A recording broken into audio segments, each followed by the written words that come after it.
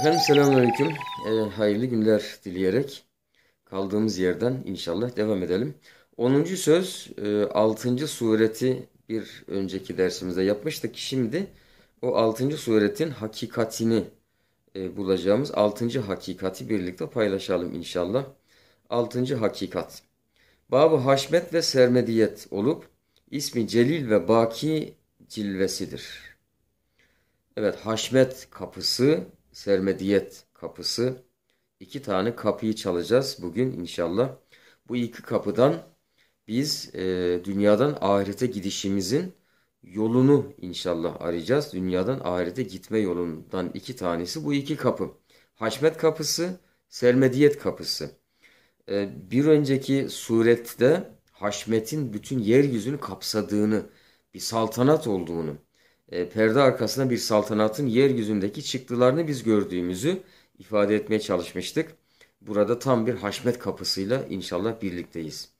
Haşmet, e, görkem, saltanat, azamet, büyüklük, e, celal, e, onur, izzet bunlar peş peşe birbirini açıklayabilen ifadeler e, yeryüzüne bir haşmet var, bir görkem var, bir saltanat var, bir azamet var.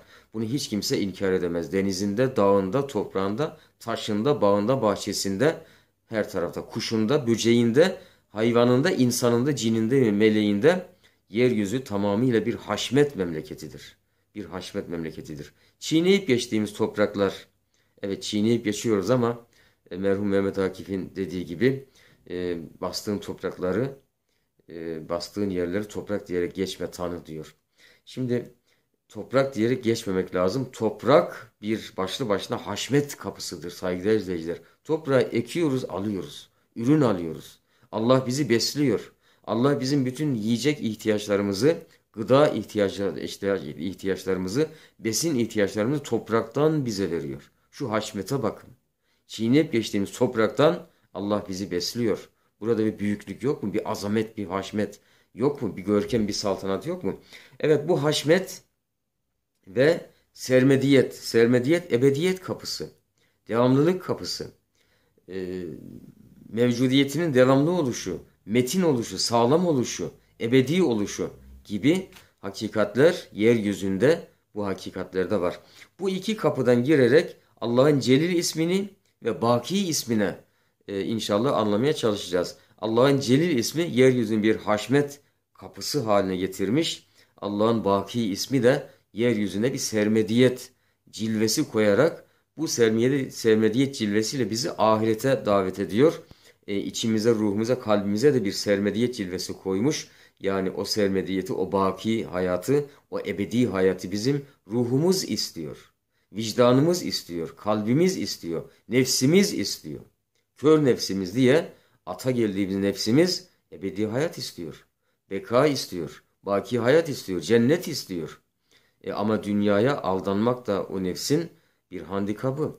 Dolayısıyla demek ki nefis dünyaya aldanmaması gerekiyor. Baki hayatta her istediği şeye ulaşacağını nefis aslında biliyor. Fakat bilmezden geliyor artık bilemiyorum. Bu iki isimden ismi Celil ve Baki isimlerinden Celil isminden dünyanın bir haşmet memleketi olduğunu anlıyoruz. Baki isminden de dünyanın bizi ahirete çağıran bir beka yönünün olduğunu anlıyoruz. Bu iki kapıdan inşallah gireceğiz. Hiç mümkün müdür ki bütün mevcudatı güneşlerden, ağaçlardan zerrelere kadar. Bakınız bütün mevcudatın en büyüğünden en zerresine kadar indik mi? Güneşlerden, güneşlerden buradaki kastedilen güneşler bütün dünyada, bütün kainatta devasa güneşlerin, yıldızların olduğunu biliyoruz. Güneşin 50 katı, 100 katı, 1000 katı güneşlerin olduğunu, yıldızların olduğunu, bir Sirius yıldızı, bir diğer yıldızların her birisinin kat kat güneşten daha büyük olduğunu biliyoruz.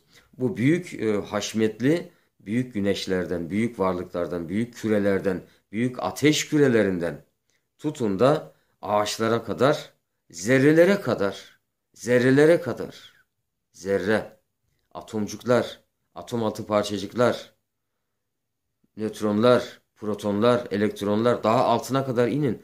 En büyüğünden en küçüğüne kadar.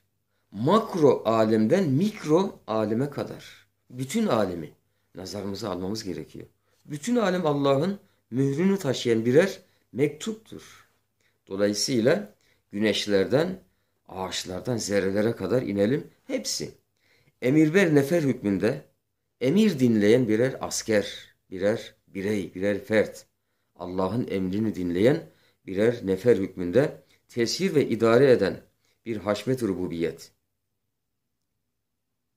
Evet, her şeyi emrini dinleyen bir ordu, bir ordu neferi hükmünde e, tesir eden, idare eden, her şeye sihrini gösteren, her şeyin e, emriyle alt üst eden, emrini dinleten, idare eden bir rububiyet haşmeti var. Rububiyet haşmeti var. Haşmet rububiyet var. Haşmet rububiyet ifadesinde biraz duralım isterseniz. Haşmet rububiyet öyle geçilecek bir kelime değil.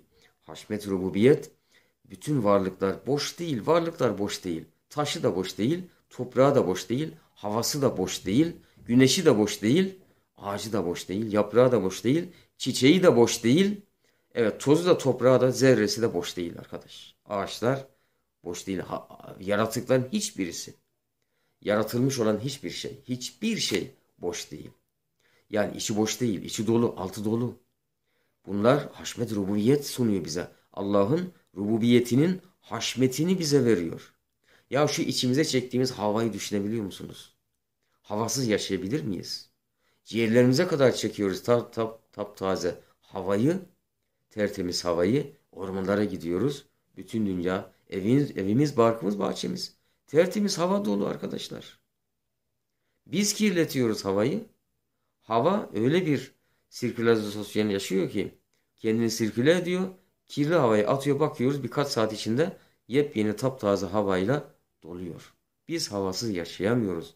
Ama şu hava zerreleri, şu havadaki oksijen, azot ve diğer gazlar bizim için öylesine muhteşem yaratılmışlardır ki haşmet var.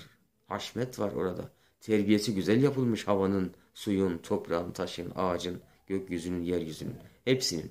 Dolayısıyla bir haşmet rububiyet var. Allah her şeyin terbiyesini güzel yapmış, önümüze koymuş. Burada bir haşmet var. Bir görkem, bir saltanat var. Bu bir haşmet rububiyet. Şu misafirhane dünyada, şu dünya misafirhanesinde muvakkat bir hayat geçiren, muvakkat geçici yani. Yani 3-5 günlük, 3-5 yıllık, 50-60 yıllık bir hayat geçiren perişan faniler üstünde dursun. Ya perişan faniler, bu dünyadaki her şey perişan fani değil midir? Yani belirli bir hayatı var, kısa bir hayatı var, bir süreli bir hayatı var. Hayat bitiyor ve hayattan sonra kendisini bu dünyadan ahirete doğru herkes ama her şey, taşı toprağı, ağacı, kuşu, insanı, hayvanı, hey hepsi bu fani dünyadan baki hayata gidiyor. Gidiş var, yolculuk var. Dolayısıyla bütün bu dünyanın her şeyi fanidir. Taşı toprağı fanidir. Dolayısıyla bu haşmet rububiyet ama bir haşmet rububiyet var. Her şeyde izini gösteren bir rububiyet haşmeti, bir saltanat var. Bu saltanat bu dünya misafirhanesindeki geçici bir hayat yaşayan faniler üstünde durabilir mi? Bu faniler de kifayet edebilir mi? Bu faniler de yeterli görebilir mi? Rububiyetinin haşmetini ortaya koyacak da böylesine bir daracık dünyada, dar bir dünyada gelip geçici bir alem üzerinde haşmetini nasıl sergileyecek? Haşmet rububiyet için, haşmet rububiyet için geniş bir alem lazım. Bir ebediyet lazım. Beka lazım. Baki bir hayat lazım. Bir cennet lazım. Bir ahiret lazım. Bir ebedi yurt lazım. Haşmet rububiyet ancak böyle bir yurtta kendi haşmetini ortaya koyabilir. Dünyada biz bu haşmet rububiyetin belki yüzde birisi belki tabir caizse binde birisine şahit olmaktayız. Ama gelin ahirette görün o haşmeti. Cennette görün o haşmeti. Ebedi hayatta görün o haşmeti. Baki hayatta görün o haşmeti. Oradaki haşmet, oradaki saltanat, oradaki muhteşem ihtişam dolayısıyla fevkaladedir. O ihtişam rububiyet, rububiyetin ihtişamı, görkemi, saltanatı bu faniler üstünde bir de perişan faniler. Perişan çünkü ayrılmak zordur, ölüm zordur. İnsanları ağlatır, insanları incitir, insanları üzer. Perişandır insanlar. Ölümden perişandırlar. Hayvanlar, kuşlar, böcekler ölümden perişandırlar. Ayrılmaktan perişandırlar. ve hiçbir şey yapamıyorlar. Ölüm teslim, teslim alıyor insanı. Ayrılık insanı teslim alıyor. İnsan çaresiz. Ancak ve ancak Allah'a olan imanla insan bir çare bulabilir. Yoksa insan çaresiz. Demek ki bu rububiyet, rububiyetin haşmeti, ihtişamı böyle fani bir misafirhanede perişan faniler üstüne durması mümkün değildir. Sermediği baki bir daire-i haşmet, bir daire-i haşmet, muhteşem bir kelime bu. Daire-i haşmet ve ebedi ali bir medar rububiyet, medar rububiyeti icat etmesi mümkün değildir. Daire-i haşmet neresi? İşte o saltanatın asıl diyarı. Haşmetin, ihtişamın asıl diyarı, ebedi memleket. Orası daire-i haşmettir. Orası daire-i saltanattır. Orası ihtişam memleketidir. Burası o ihtişamın belki taşan bir kısmı. Şöyle bir örnek verilebilir mi? Belki. Bir bardakta bir muhteşem meyve suyu var. Bir ayran var. Güzel yapılmış. Bu ayran taşmış. Taşmış. Bir kaşık, iki kaşık etrafına taşmış. Taşan kısmını biz dünyada görüyoruz. Asıl ayranın, asıl sütün, asıl bardağın içindeki o hazinenin asıl kısmı haşmet dairesinde. O, o ebedi memlekette. O ebedi yurtta. Biz o asıl alemi göremiyoruz. Bizim gördüğümüz taşan kısmı. O alemden taşan kısımlarla biz bu dünyada gönlümüzü eğlendiriyoruz. Ve onunla biz e, yeterlilik görüyoruz adeta yanlarak. Demek ki e, böyle bir haşmet rububiyet bu faniler üstüne durması imkanı yok. Sermediği bir daire-i haşmet icat etmemesi mümkün değil. Bir daire-i haşmet var, bir ebedi daire var, bir medar rububiyet, rububiyetinin harikulade tecelli edeceği, yüzde yüz belki tecelli edeceği muhteşem bir diyar var. Ve orasına Allah or oraya bizi davet ediyor. Allah bizi oraya davet ediyor. İslam dini odur arkadaşlar, kardeşler. İslam dini odur. Kur'an odur bizi oraya davet ediyor. Hz. Muhammed sallallahu aleyhi ve sellem bizi oraya davet ediyor.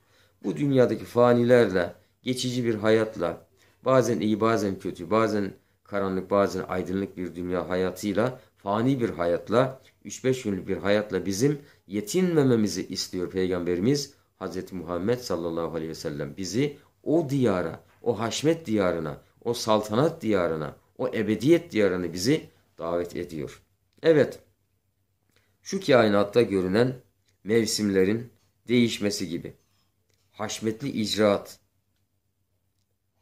Evet mevsimlerin değişmesi gibi haşmetli icraat. Doğru değil mi Allah aşkına? Mevsimlerin değişmesi haşmetli değil midir? Nasıl gözümüzden kaçırabiliyoruz? Koca kış mevsiminde bembeyaz yorganını örtmüş bir yeryüzüyle karşıla, karşı karşıyayız. Patır kütür çiğneyerek gidiyoruz o karları, o emsalsiz karları. Kar dediğinde onda da haşmet var.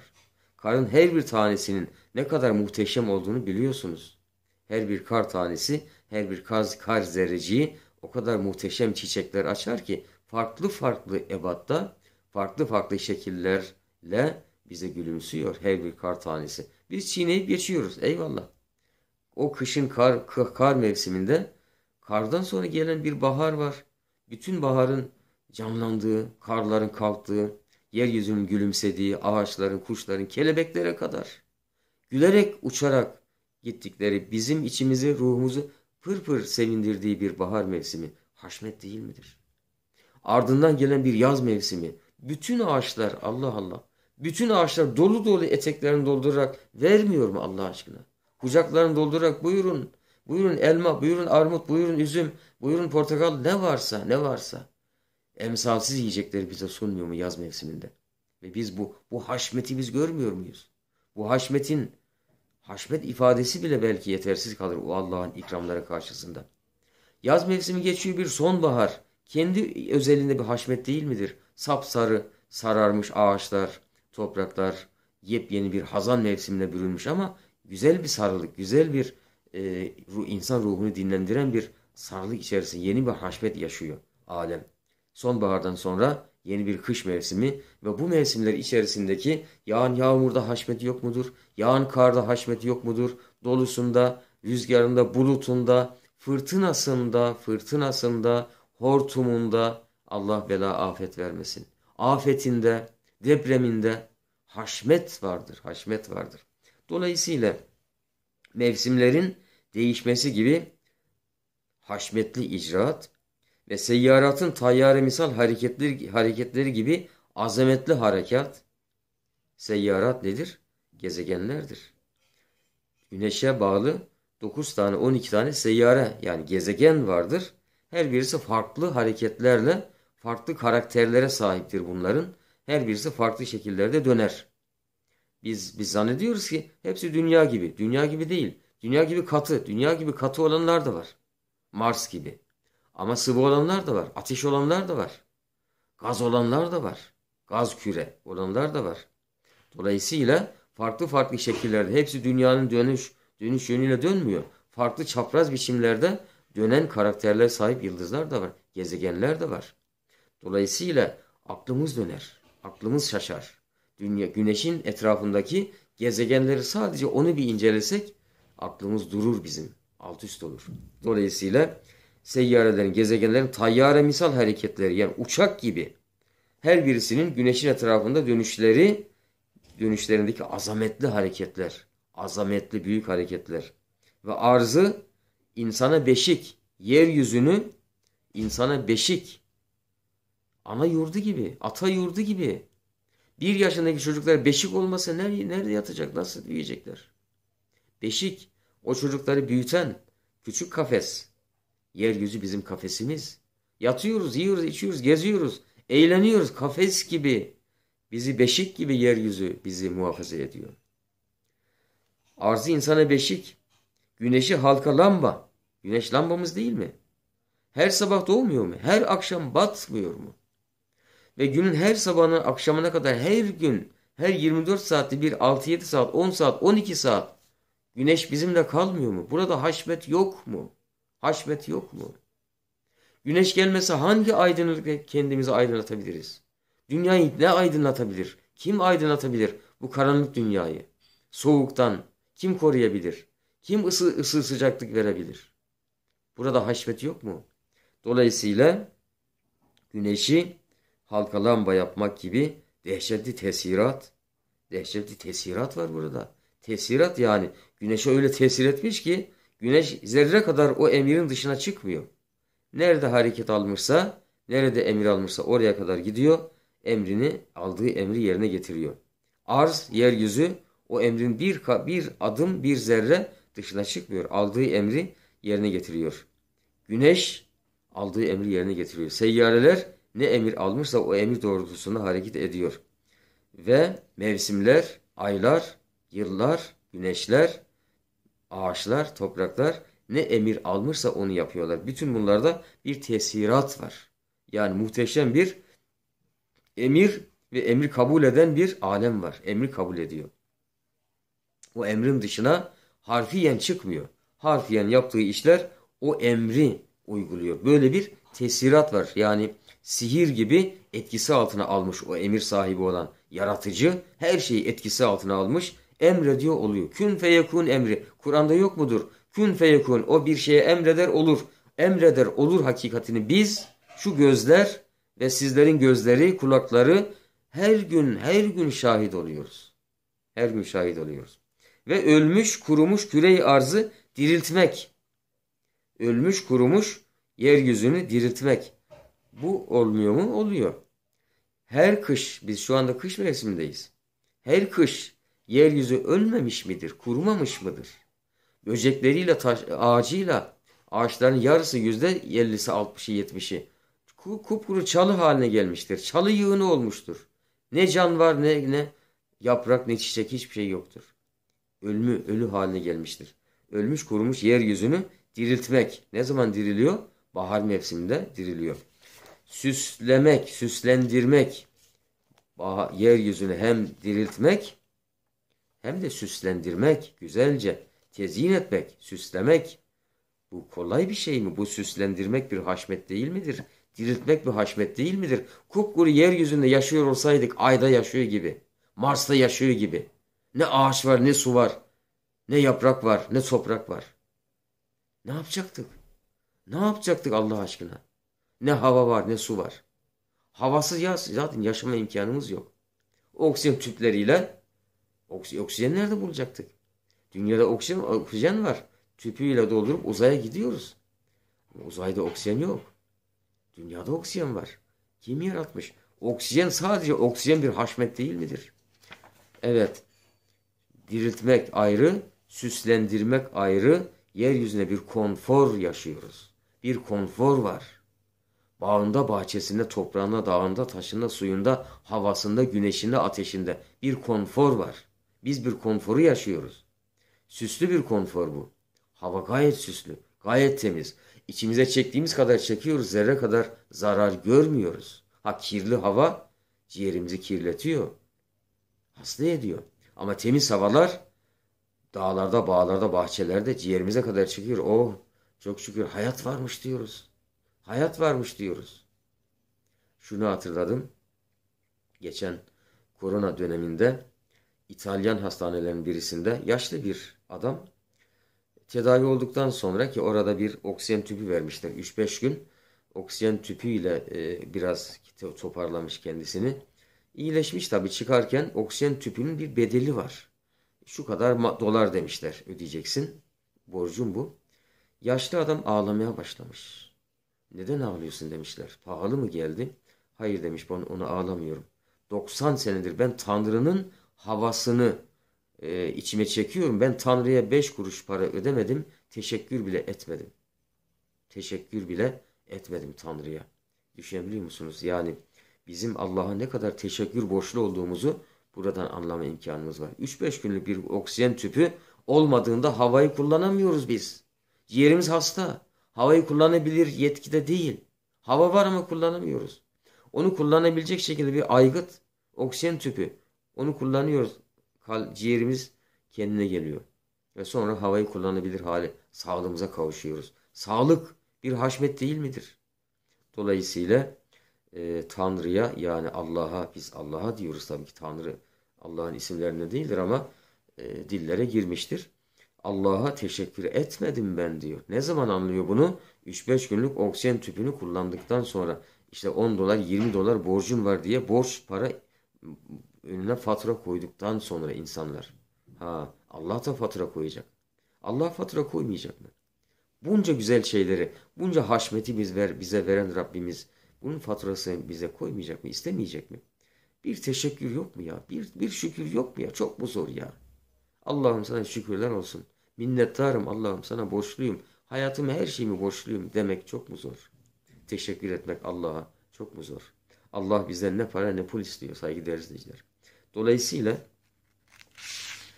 yani hem yeryüzünü diriltiyor hem süslendiriyor bağları, bahçeleri, yeryüzünü, toprakları, taşları, ormanları, ağaçları, kuşları. Şu kuşlar rengarenk, balıklar rengarenk, hayvanlar rengarenk. Öylesine renkle donatılmış ki, süslü süslü öylesine donatılmış ki. Allah'ım yani bizim güzellik sever bir yaratılışımız olduğunu Rabbim bilerek zaten yaratan kendisi her şeyi güzel yaratıyor. Evet süslendirmek gibi geniş tahvilat gösteriyor ki tahvilat var, tahvilat var. Tahvilat şudur. Hiçbir şey yerinde durmuyor. Yerinde durmuyor. Her şey değişiyor. Her şey değişiyor. Baktığın zaman şöyle yerinde durur gibi gördüğün maddeler, taşlar, havalar vesaire. Onlar her an değişiyor. Bir kısmının değişme süresi geç, bir kısmının çabuk değişebilir. Saatlik olanlar var. Aylık ay değişenler var. E, yavaş yavaş değişenler var. Belki e, uzun süre e, aynı şekilde kalıyor zannettiğimiz şey her şey değişiyor. Ama biz onları yerinde kalıyor gibi bir algıyla görüyoruz. Ama her şey bir tahvilat içerisinde her şey değişiyor.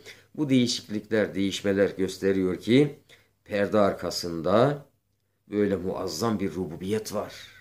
Perde arkası. Perde arkası boş değil bunun. Perde arkası neresi? Bizim görmediğimiz şeyler. Baktığımızda gökyüzünü görüyoruz. Dağları görüyoruz, güneşi görüyoruz. Toprakları, taşları, suyu, havayı görüyoruz. Başka bir şey göremiyoruz. Yeryüzünü görüyoruz. Gökyüzünü, o mavi gökyüzünü, semayı görüyoruz. Başka bir şey, bulutları görüyoruz, yağmurları görüyoruz. Ama bütün bunlar orijinal şekilde, muhteşem biçimde, hatasız, kusursuz, yanlışsız biçimde her gün etrafımızı dolduruyor. Her gün istediğimiz şekilde akıyor. Hayat istediğimiz biçimde akıyor. Güneş istediğimiz saatte doğuyor. Gece istediğimiz saatte oluyor. Gece gündüz mevsimler istediğimiz şekilde dönüyorlar. Kim bunların perde arkasında muhteşem rububiyet sahibi kim arkadaş? Kim? Kim bunu yaratıyor? Nasıl düşünmeyiz bunu? Şu kafada akıl yok mu yahu? Düşünmemiz lazım. Perde arkası. Perde arkası muhteşem bir rububiyet var perde arkasında. Ve muhteşem bir saltanatla hükmediyor. O muhteşem perde arkasındaki muhteşem rububiyet muhteşem bir saltanatla hükmediyor. Böyle bir saltanat rububiyet kendine layık bir raiyet ister ve şayeste bir masar ister. Böyle bir rububiyet saltanatı perde arkasında. Perde arkasına ama perde önüne gelse biz zaten göremeyeceğiz. Bizim beş duyumuz o perde önüne gelse o saltanatın sahibini, o rububiyetin sahibini görme imkanımız yok. Kulağımızla işitme imkanımız yok. Beş duyumuzla elimizle dokunma, algılama imkanımız yok. Bizim o rububiyet saltanatının sahibini, o haşmetin sahibini göremeyeceğiz biz. Perde önüne gelmiyor. Perde arkasında hükmediyor. Bir, bir de perde önüne gelip eğer biz onu zaten görebilseydik, konuşabilseydik biz onunla algı, onu, onun dünya algı dünyasına tabiri caizse onu e, algılayabilen bir melekeye sahip olsaydık e, o zaman da zaten buna inanç denmezdi ki. İman, iman denmezdi buna. Yani gördüğün şeye inanırsın. Allah'ı da görmüşsün, iman görmüşsün. E zaten inanacaksın. Başka çaren yok ki. Gördüğün Allah'a, e, gördüğün her şeye inandığın gibi Allah'a da inanacaksın. Bu iman olmuyor. O gözünle gördüğün şeyi tamam diyorsun. Bunda iman yok. Asıl iman arkadaş her şey oluyor da ortada yaratıcı yok ya. Ortada görebildiğin, işte bildiğin beş duyumun kapsamını gelen bir yaratıcı yok. Kendiliğinden olur gibi her şey. Ama her şey düzgün. Her şey düzgün.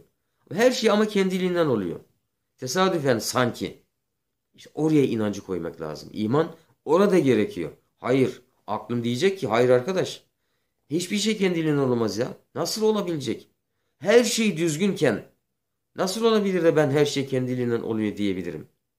Demek ki bir yaratıcı var, bir haşmet sahibi var, bir salata, saltanat sahibi var. Kendisini çekmiş, perde arkasına saklamış. Perde arkasına kendi, perde, önümüze perde koymuş.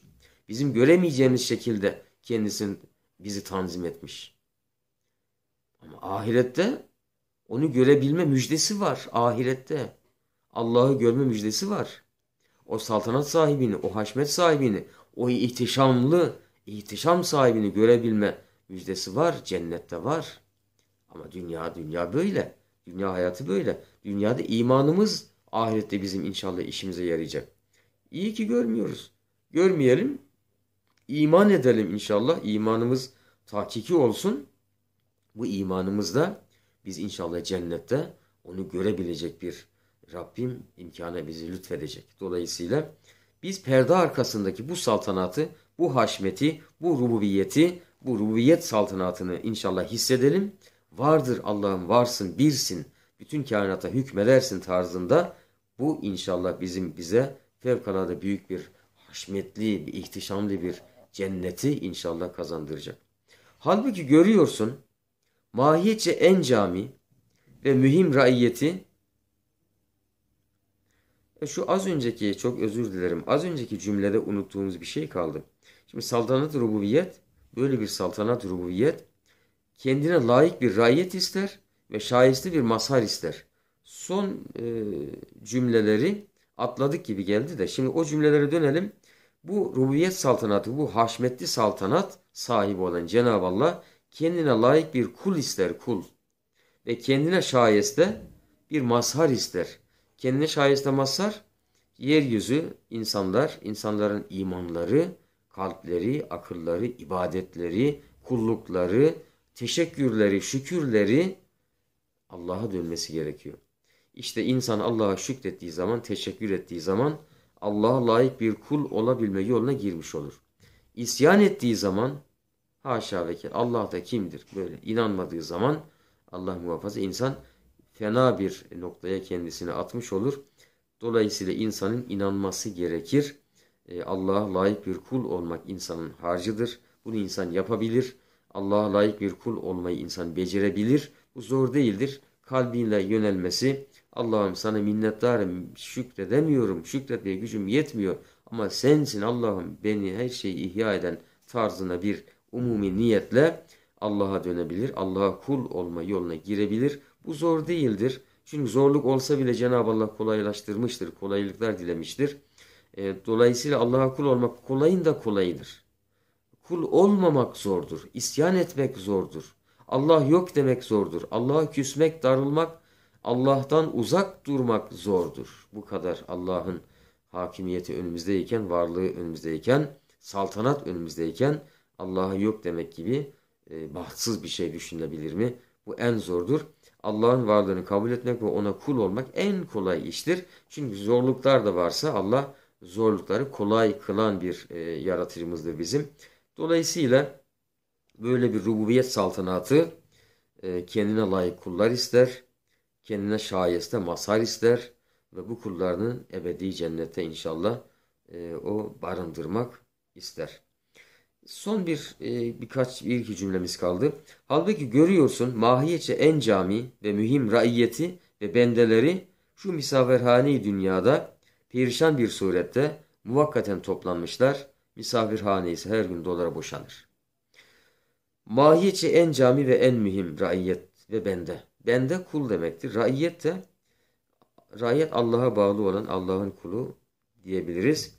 Peki mahiyetçe en cami, en geniş kapsamlı yaratılmış, en mühim bir kuldur insan. İnsan yaratıkların içinde eşref mahlukattır. Mahlukatın zirvesinde insan yaratılmış. Bütün duygularıyla, aklıyla, gözüyle, kalbiyle, inançlarıyla, vicdanıyla, ruhuyla, nefsiyle insan bir azamet yaşıyor. İnsan bir muhteşem varlıktır. Bu insan gibi muhteşem bir yaratık Allah'ın kulu olduğu zaman fevkalade yüksek makamına doğru uruc eder yani çıkar. Dolayısıyla ama bu insan gibi muhteşem varlık Allah'ın kulu bu dünya misafirhanesinde perişandır. Perişan bir surette muvakkaten geçici olarak yaşıyor. Ve burada perişan bir hayat yaşıyor. Zorluklar içinde, sıkıntılar içinde, hastalıklar içinde, afetler içinde. Tabi bunlar da imtihan gereği insan başına geliyor. İnsan burada sıkıntılar yaşıyor.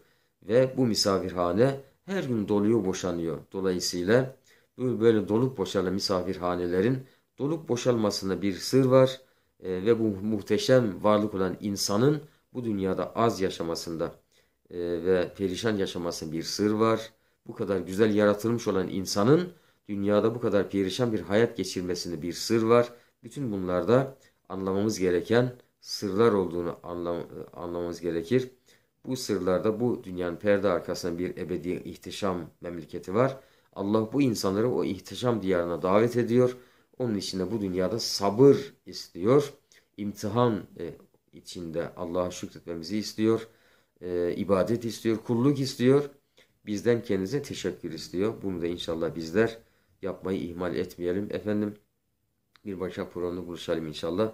E, konumuz yarım kaldı. E, Allah'a emanet olun. Selamun Aleyküm.